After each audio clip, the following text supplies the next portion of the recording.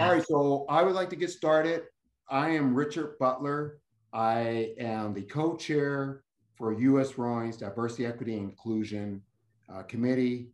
I am really grateful to participate as the co-chair uh, into my second year, uh, along with Kirsten Feldman. Uh, we, this big ship called U.S. Rowing is like an aircraft carrier. And as you begin to turn it around, it's going to take a while. And, and so we're, we're going to take a while of turning this idea of DE&I with U.S. Rowing around. We're going to be patient. At the same time, we're going to be impatient because there's low hanging fruit and, and there's, uh, the, there's the long game. Uh, I would like to begin with um, 29 years ago. 29 years ago, April 29th, 1993, I attended the March on Washington for the lesbian, gay, bisexual. Trans was not voted into the conversation by the actual committees at that time. And so it was just the lesbian, gay, bisexual liberation march. And I was there, and it was Park Service blew it. Park Service said there's 300,000 people. The rest of the world said there was 800,000 to a million. The Park Service actually stopped using the method because they screwed that one up so much back in 1993, their counting method. And so to be immersed in that crowd, what was most important to me to support that march is that all civil rights is human rights. And if I was not going to be an ally of this movement, how can I expect to have allies in my own movement as a Black American? And so standing there, um, amazed at the diversity of what the community was and is at that time, uh, is, is why I'm here today. Um, I strongly believe in protecting all of the rights uh, of the LGBTQIA plus. I especially focus on the plus because that, my friends, is the open door that we all are welcome into this community. And I strongly believe that and appreciate that. And so as we end the month of, um, of the progress, resiliency of, of the community, I'm looking forward to speaking to our fellow rowers, our rowers uh, who will uh, share with us who they are in this space. And you're going to hear the word intersectionality a lot because in this conversation today, we're going to not look at the sexuality of individuals, but look at the multiple layers of individuals. And that's the intersectionality of what this is. And so I would like to welcome you all. Um, there will be awkward moments. Some of you on this call may be still trying to figure out, yes, Chance. There's some of you uh, that are listening are, are still trying to just figure it all out. You may be already be allies, or you may be wanting to understand how to be an advocate. And we will have tips towards the end of how you can actually be an advocate of this amazing community. And I want to thank US Rowing for trusting me over and over and over again to have these webinars. And um, I don't speak for US Rowing. I speak from the perspective of Richard Butler, the co-chair for the committee. And so keeping that clear. So I would like to open it up. Someone's trying to get in and they're coming in hot under my name. I love that. again. So I would like to allow three minutes or less for each panelist to just introduce yourself. And I'm going to go with how I see you on my um, a grid. And so Chance, you're on the left-hand side of my grid and take it away. I note the relieved smiles of my uh, fellow panelists. Uh, my name's My name's Chance. Uh, I am a trans woman. I don't look much like one, um, but I am, which is pretty cool. It's taken me a little while to get to pretty cool on that one. Um, in the rowing world, I'm a coach. Uh, I was a moderately successful in a tiny program, high school rower as a kid.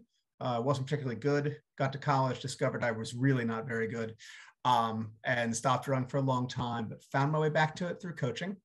I coach at the high school level. Um, I also coach at the collegiate, the club collegiate level. I coach for a collegiate club team, and I also coach masters. I helped start a uh, rowing club here in my local community uh, that was designed around actually um, broadening the sport and bringing people from a community that is underserved into it.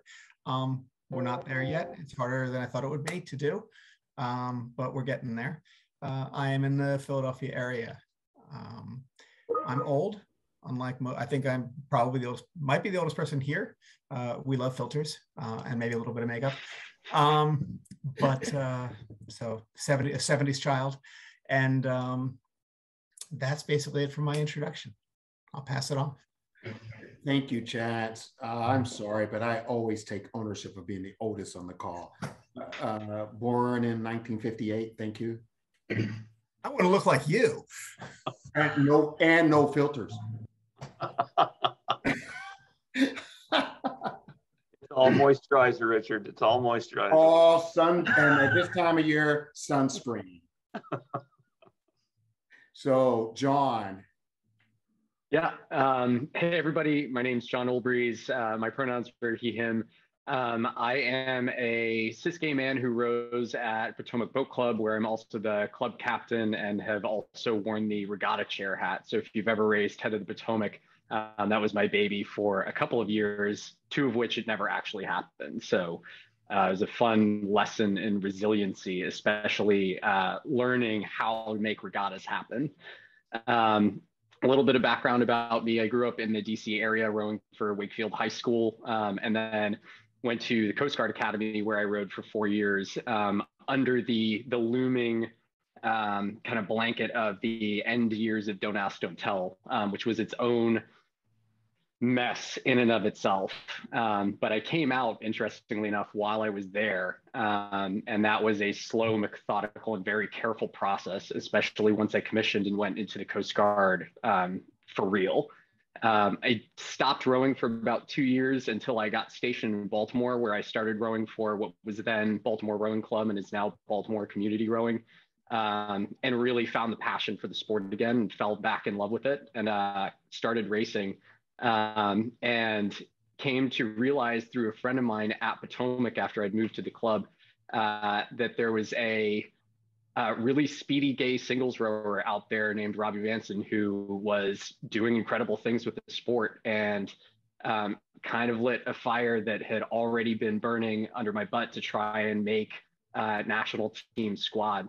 Um, and you know i fought and fought and fought and fought and tried to make the team and it wasn't until i was actually leaving the coast guard um, that a friend on a whim invited me to go do uh, new discipline known as beach sprints um, and we went to trials and we made the team we went to worlds we got a bronze and uh, i came back and took a little bit of time off just to like kind of let all of the dust settle from a decade in the Coast Guard and being on this team, um, and then picked up coaching at St. Albans, um, where I did a uh, fairly part-time, like truly part-time coach position um, there, and I'm coaching the Potomac U19 team this summer.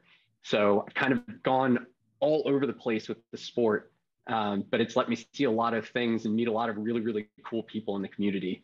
Um, so I'm really excited to be here and be part of this conversation and to talk to all, uh, talk with, sorry, all of my amazing panelists who are also here. Thank you, John. And um, Chance, I get a chance, get a chance to say this to you as well. I appreciate you agreeing, both of you agreeing to be here. Kara. Right. Hi, everyone. My name is Kira O'Sullivan, and I am currently the assistant rowing coach at Smith College. It's a Division three program in Western Massachusetts at a historically women's college. So really neat spot, really cool, very queer space. So um, it's really awesome to get to be there now. I got into rowing in high school at Archbishop Carroll High School and absolutely fell in love with the sport. Um, started rowing at Temple University after that. Spent four years there, met my soon to be wife, who I'm so excited to spend my life with. Um, we're very dorky, we're very gay. Um, and then I spent a year after college training at Vesper Boat Club. So made my rounds through Philadelphia, um, finished training in beginning of 2020 as a pandemic and a back injury happened at the same time. So knew I'd fall in love with coaching and now I'm on year three of coaching and I absolutely adore getting to exist in this space and be a rowing coach and love this sport and watch other people fall in love with it. Um, I also am a co-host on the Gay Virgos podcast. Um, we just like to talk a lot. um, Lizzie Houston is my co-host, and we basically love using that space to highlight the queer rowing voices because there are many of us, obviously, including a couple of our panelists. John has been on the podcast. Chance, you're invited. Brian, don't worry, the invite's coming your way. Um, so it's a really fun community building way for us to connect with people who have had similar experiences to us and just create this awesome network of people in this sport that love it and get to be themselves while doing it. Kara, thank you so much for sharing your time in this space with us. Feel free to put your podcast handle in the chat room, and yeah. you're going to get at least five new listeners. We we joke that we only have like ten people listening, um, so including the people in this room, I think I think we'll be up a little bit more. Beautiful. Thank you, Brian. Uh, so just for full disclosure, Brian was a last minute audible, we need another guest. And Brian stepped in, stepped out, and I don't know what to expect, but hey, Brian, welcome. Meaning we didn't get a chance to meet. That's all. Oh, well, that hurts, Richard, because uh, having hosted a GLRF booth at over 150 regattas from 2004 until today, I would have hoped that most of the panelists and you would have uh, seen our booth at junior national championships, at national championships, at masters, regionals, at uh, masters national championships, Canadian Henley, at head of the Hooch, at head of the Charles, but I guess not. So um, we we probably saw the booth, but doing our things that we do, as you know, in our silos on those campuses. Absolutely. Nothing, so, nothing personal. So uh, I started rowing in high school and uh, rowed for three years in uh, California in Lake Merritt, and uh, then went off to University of Washington, where I didn't row. Um, my parents had a beginning influence on me that said, you can't do fraternity and engineering and rowing. And, um, and then my mom also said, well, you won't be able to go skiing if you're doing rowing. And unfortunately, skiing was a bigger love for me at the time than rowing. So uh, skiing won out. And um, I returned to rowing after I left the Navy, after I uh, left uh, graduate school or finished graduate school, and uh, started rowing uh, in San Diego, and uh, returned to rowing in San Diego, and then continued to row uh, in Newport Beach, and then in Marina Del Rey, and I continue to row in Marina Del Rey, and I run the Gay and Lesbian Rowing Federation. It got its start in 2003, and the whole idea was to create a global online community for gay and lesbian rowers, recognizing that most uh, rowers row in straight clubs or community clubs, and this was a way to uh, give a shared uh, sense of community to people everywhere and connect them um, and it it's we've got 1747 members right now uh, in 43 countries. Uh, and there you go. That's that's where we are. So. And that's why i should have always known you. And, and my reference was that we were able to get together really quick yesterday and meet each other. That's that's all. Uh, not anything personal against you. So appreciate you being in this space longer than a lot of us. Really cool. Uh, Jess, I think it's important that you're here on camera. You're new to U.S. rowing. Uh, let, let, let our audience know who you are and why you are here. Hello, thank you. Um, so my name is Jess Jackson, and I'm the new, very new Diversity, Equity, and Inclusion Associate here at US Rowing. Um, I started about two weeks ago, so really in the thick of things, learning everything there is to learn, um, trying to solidify it in my brain wrinkles as best I can. Um, but just very excited to be one in the space with you all, um, and two to share a community of rowing that is it's such a great community um, and it's surrounded by people um, who really care for the sport. So that's insanely exciting. And um, i think as the sport continues to grow and as people in this country continue to grow, um, we're only going to create a greater community around one another. So I'm really excited to be a part of that community um, here with all of you all. So thank you for having me. Thank you, Jess, for being in this space with us. I am super excited that you are here because I am the original inclusion manager for US Rowing, and we were way ahead of our times and it's taken uh, multiple years to now fill that slot. And I, I know that you're going to just blow it away, and I'm looking forward to being a resource and standing beside you. And let's let's make this happen. Thank you. Big shoes to fill. Well, size 14 to be exact. Woo! Gosh, wish me luck. and so let's just jump right in, panelists. Uh, we have 15 minutes for this one or less. And I, we're going to go around the squares. What does pride mean to you, our society, and in rowing? And you don't get 15 minutes each. We have 15 minutes total. And so I'm going to just say, who wants to go first?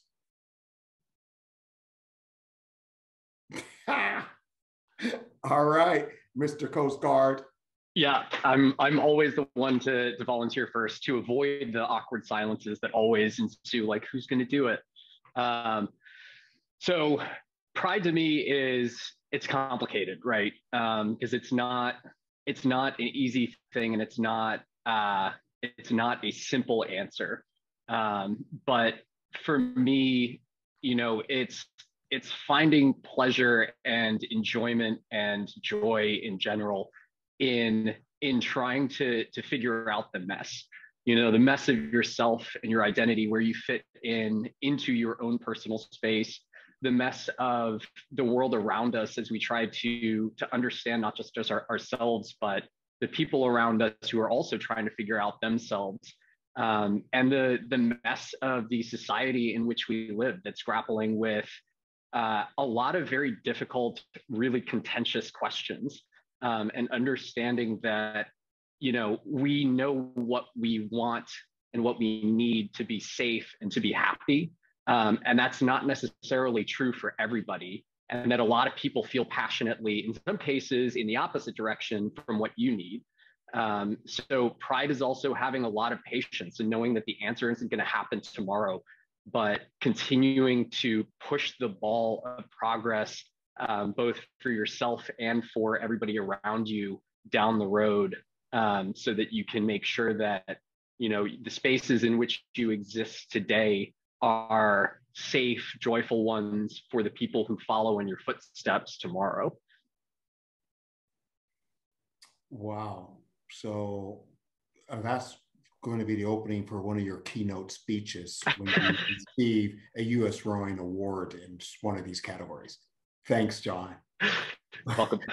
Who would like to go next? it's tough to follow that up. Brian, go for it. Okay, well, um, I used to be a young gay, and um, for many of the young gays uh, back in the day, um, pride meant um, singing our gay national anthem, I Am What I Am. Um, but as I've shifted out of being a young gay, um, what I have found for me is important is a sense uh, it's it's all comes back to an interwoven uh, fabric of acceptance and inclusion and for those of you who perhaps are not uh,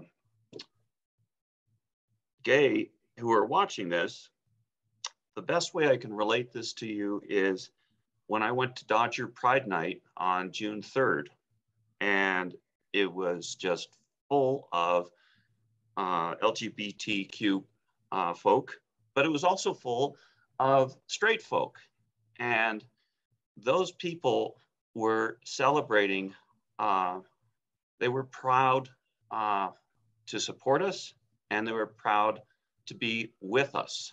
And so for me, uh, in a rowing club, what pride really means is that I'm surrounded by people who support uh, Pride Month, uh, but are also proud to have me as a member and proud to have me in the boat. Um, and that's that's my take on it. Next is Kara. And Brian, thank you. Brian, thank you for that share. Really appreciate it. I love the popcorn style. Um, yeah, I think I think pride to me is all about community. Um, similarly to Brian and saying that, you know, it's it's being able to show up in every space as your whole being and being celebrated for every ounce of who you are and not feeling like you have to pass a certain way or not be a certain part of who you are because of a lack of safety, a lack of acceptance, a lack of being able to be yourself. Um, so I think pride is the opportunity to say, like, no, we're here. We've always been here. We are for sure not going anywhere. Um, I also feel like pride has a little bit of an edge of resistance to it. Um, I think for a lot of queer folk, an existence is just a resistance. And in a way, and a society like John touched on that is very much so grappling with struggling with accepting that some people exist a little bit differently than other people. Um, and I think this month in particular feels very resistance heavy. Um, so I was, yeah, um, it's it's been a tough couple of weeks, that's for sure. It's been a tough year. Yeah. Um, so I think this past June has felt very like okay, we are we are all in this. We, we have each other and we are going to get through this because every other obstacle that's ever come our way, we've had each other and we've gotten through it. So that's what this month was meant to me, I'd say. Chance, take it away. So yeah, I love I love all of that. The for me, pride is in many ways I'm the youngest here. Right? I said I was the oldest earlier, but in many ways I'm the youngest here. I've only been out for two years, and that's to myself um, out publicly for a year and it's small. So for me, Pride Month has been about visibility, um, both seeing myself in queer spaces and what that means. But more importantly, as someone who's coached a number of trans male athletes um, and a number of non binary athletes, I realized that I was not being genuine to them to not let them see that there's a space for rowing for all of us. And so my big draw to come out was that my athletes and the people who row in clubs with me need to know that there are people like me around. Trans, there have been trans people around for forever. Um, I know we're not, all, you know, it is it has definitely been a tough uh, year to be trans. Um, but it, for me, pride is about everything you guys have said, but it's about the visibility and standing up and being seen. It, um, because when you know, I, I at least have the luxury of being old.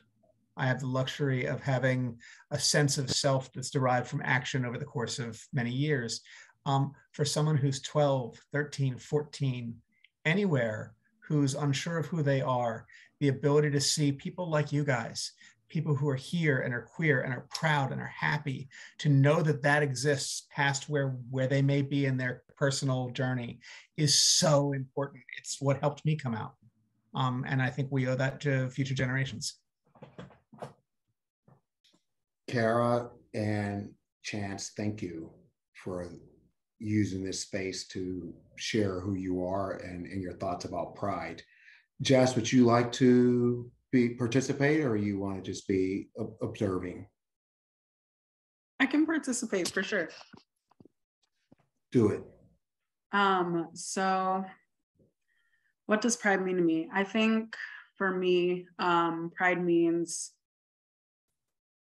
being able to find your voice um, and being able to be a voice for others. I know when I was, I would call it in the process of coming out, but only my closest friends knew. Um, so when I was in the process of coming out, I think I was very quiet, as many of us um, are. And these past three years almost, um, I've been able to start finding my voice um, and start finding, you know, how I want to express myself and what does that look like to me and what does that dress like and what does their hair look like and all these new, fun, exciting things that I just get to explore. Um, and so I think with that, pride means being authentically yourself. Um, and it may take some time to find, it may you know you may look at yourself in the mirror one day and be like what am i wearing? Um, but just being able to walk out of that house that day and feel like yes like i know i look good and my authentic self. Um, and i think that right now in this moment is what pride means to me. That's beautiful. Thank you jess. Um, and i will throw my two cents into that. So pride for me is in 1968, Dr. King was assassinated, and I was 10 years old.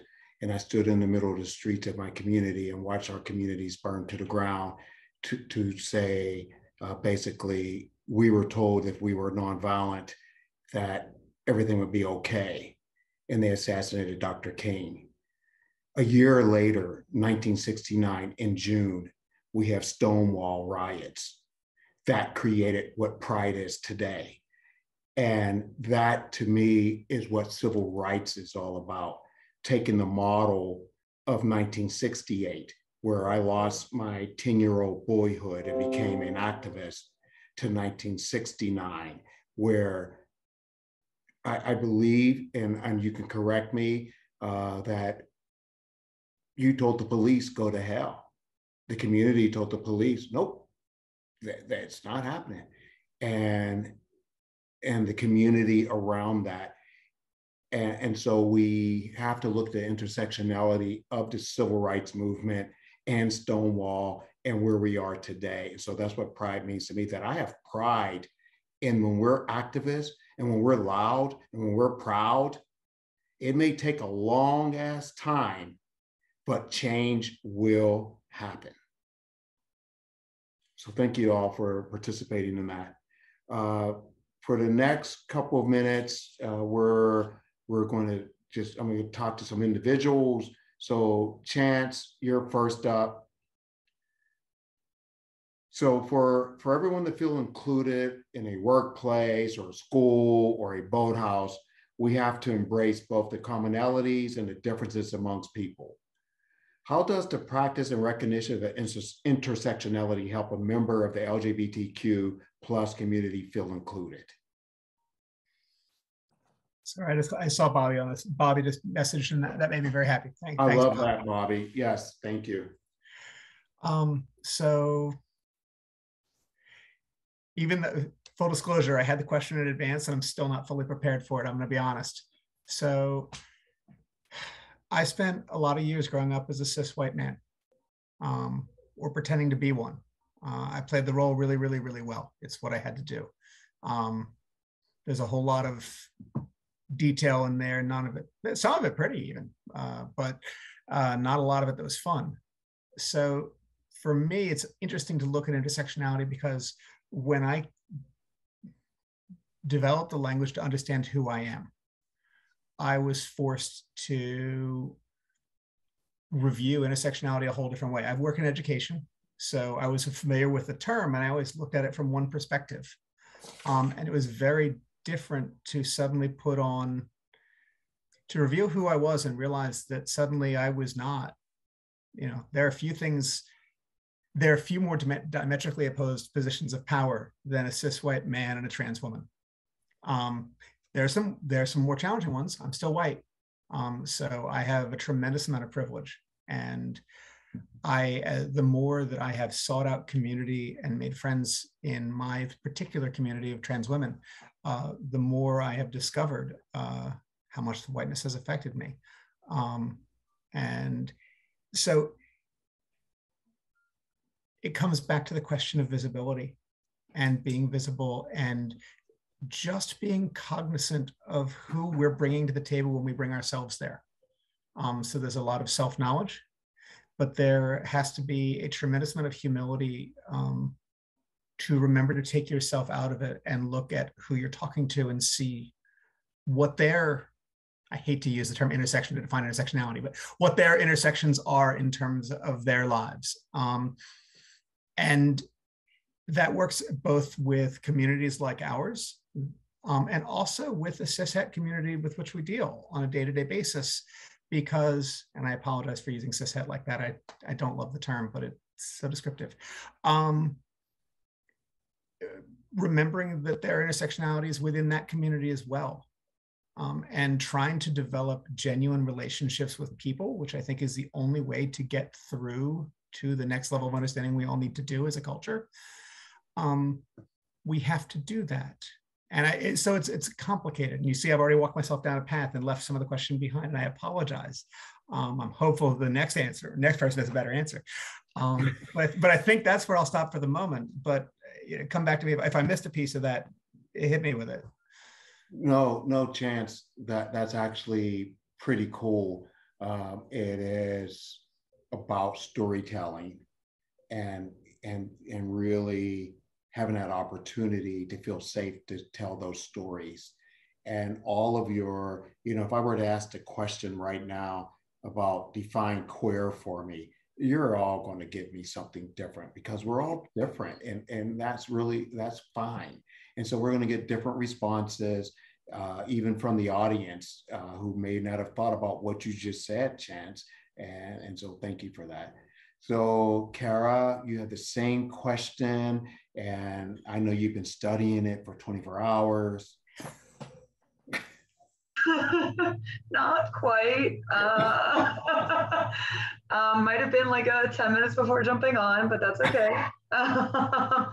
we're great, if not uh, adaptable. Um, yeah, I think going to build off of Chance's response, I think, you know, growing up, knowing I, I grew up in a very different space as you chance. I, I grew up very much so knowing that I was not straight for a long time. And I think as a queer younger human being, desperately trying to find little bits of like, okay, you wear your hair a certain way. Are you not straight? You are like this. Are you not straight? And I grew up in an Irish Catholic community. I went to 12 years of Catholic school. I didn't meet a lot of adults or anyone that was older than me that were very openly not straight um, or queer. And I think for a long time, I was just desperately searching for it. And I think part of the intersectionality we, we can celebrate now is you're like, you're right, showing up in those spaces and just being visible. And Jess, I kind of laughed when you mentioned, um, like, do I, what do I wear? How do I look? Like, how do I dress? I feel that all the time. And I've known this about myself forever. And I, you know, I, I still look very straight. I don't think there's there's like a there is a gay wardrobe. We all know it. Carhartt, whatever. Um, I, I, still look very straight a lot of the times, and I can't just like run around and be like, "This is my partner. She is a woman. Look, we are not straight." You know. So I think being able to show up and in spaces and just casually be able to say, "Yes, my partner and I, she," and she is like this and I am like this. And just being able to casually use those and not have people be like, wait, what? um, that's the importance of it. And and being able to have an athlete, a younger athlete, look at us and be like, I can do this. Because I remember that feeling. I remember meeting my first queer coach and she showed up in corduroys and Birkenstocks before they were cool. And I was like, we are on the same team um, before we even talked about it, right? Like she, it eventually came out that she had a female partner. And I just remember feeling so like, oh, yes, I can do this. Like I can coach. I can be in the sport. I can be successful here. Just a huge amount of relief. And I did tell her, thank God, after I graduated, that she kind of created this path for me and she didn't even realize. Um, so getting to do that, and that's, I think I left also huge chunks of this question about, but that's how it's, that's what intersectionality means to me and why it's important, I think. Thank you for that. Here, I'll, I'll clarify a little bit. I, the la- I, I referenced language. I knew I wasn't straight and I knew I wasn't cis, but I didn't know what those words were. For me, it's been about finding language in the last 10 years to figure out. I just knew I was wrong for lack of, and I don't know any other way to phrase that. That's, that's, that's what I was, was wrong um, until I figured it out. But I, I get what you mean exactly. So I just couldn't find my tribe. I'm so glad you did. Great, thank you uh, Brian or John or Jess. That's fine. You're here. Well, John's next on the list according to the email. Oh, because I have a new question. Thank you. Appreciate that. John. Yes. Let's talk about representation. Let's do it. Um, Why so I'm representation important in our sport.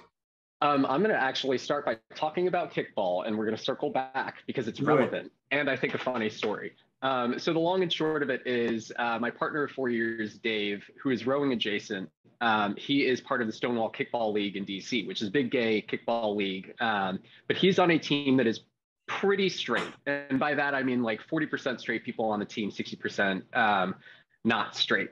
And at the championship game, somebody was really upset and complaining that this team was allowed to play in the Stonewall League because there were so many straight people on it. And the the captain of the team and Dave both said, "Well, what's the problem?" And they said, "Well, they're just going to be better at us." And they said, "Wait, are you implying that the straights are better than the gays at sports?" And they the person who was mad said, "Well, no, but."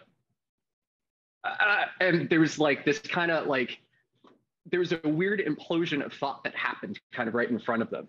Um, and the thing that stuck out to me the most is like when I look at the sport of rowing and I look at the high performance spot, like the high performance level of the sport, which is where I've always really wanted to see myself, there aren't very many out gay men at that level. Um, and I think it's only until recently that we started to see a lot of out uh, gay women like Emma Twigg, um, like Kenny Chase, you know, going to the Olympics and having the rainbow flag on her oar. Um, and Robbie Manson, who set the men's single world record time uh, that is yet to be beat. And, you know, that's, it's super cool, not just to show like, hey, we can be out here and we can do it, but it's not even a we're doing it to be better or we're doing it to show that we can be equal it's coming from a place of passion of the sport and just wanting to be the best at it and really wanting to to feel like the amount of effort that you put in will always yield dividends regardless of who you are um, and the more you work and the harder you work and the more you talk to people and really try and find your space within the space um, the more success you'll hopefully find. And it's not easy and it's not necessarily always going to work because, you know, kind of depends on where you are and what resources you have available and what coaches you have available and if you're even getting the right coaching. Um, but seeing those people who look like you at the higher levels of the sport or even just in the sport in any of the spaces that the sport takes up be it you know in philadelphia for idr this weekend or you know, in Sarasota at Nathan Benderson Park. Um, like that is an affirmation that you do belong in this space because there's at least one other person that's like you in that space. And so, you know, it's it's hopefully going to be safe. Um, and if it's not, that one person is the foundation for your community through which you can hopefully make things better. Um, especially if you have such a passion for the sport that you just want to exist in it and you want to like, you know, be that idiot who's waking up at 4:30 in the morning to get on the river to watch the sunrise um, when everybody else is still super cozy in their bed and that's all you're thinking about. Um, because it's a really magical place to be and it's a magical sport and having that feeling of camaraderie with your boat mates and your teammates is kind of what drives us right? Um, so so having queer representation in the sport is important because it's it's just making it a safer more fun place for everybody to be. And it gives people something to look forward to not just for the sporting aspect of it and the adventure but also for the community that comes with this like shared passion of ours. Thank you for that. You get snaps there. Uh, I'm. I really like how you lit up when you talked about the people in reverence in the sport that represent that's important to you, and I, I appreciate just your body language. You didn't see it; I saw it. it you check out the video. So, so uh, Brian, you have the same question. Why is representation important in the sport? Well, I think I'm uh, very biased because uh, since I run the Gay and Lesbian Rowing Federation, uh, we have been trying to uh, work on representation in front of people as a continuous reminder at all of these regattas. And uh, we have the banner at all these regattas at every uh, vendor booth. It says Gay and Lesbian Rowing Federation. And one of the first things it does is it, it has to keep uh, the idea of gay and lesbian people in the rowing community exists and uh, we're there. It's not we're queer, we're here, we're queer, get used to it, but it's it's keeping the conversation going, keeping the awareness going. Um, so it's important for representation um, to have a recognition. And of course, anybody who hasn't joined the Gay and Lesbian Rowing Federation, we encourage you to do it because of the power of the numbers. Because where I'm going with this is that I've had the opportunity to travel and meet some of the higher level rowing um, people in the UK, in Canada, um, and in at FISA and to be able to say, yeah, we have uh, 1,700 members in 43 countries, this recognition that appears on people, wow, uh, is really makes a an impact. And if that number can keep growing, it just creates more and more of an impact. And it's not just me or our organization who can uh, recite the numbers. Anybody who's in the uh, gay rowing community can uh, say, yeah, we have um, this many uh, rowers or uh, members in this many countries, and you can always find it on the GLRF website. But beyond just the representation and the numbers, um, what I feel like is by having a uh, out representation, it starts to create respect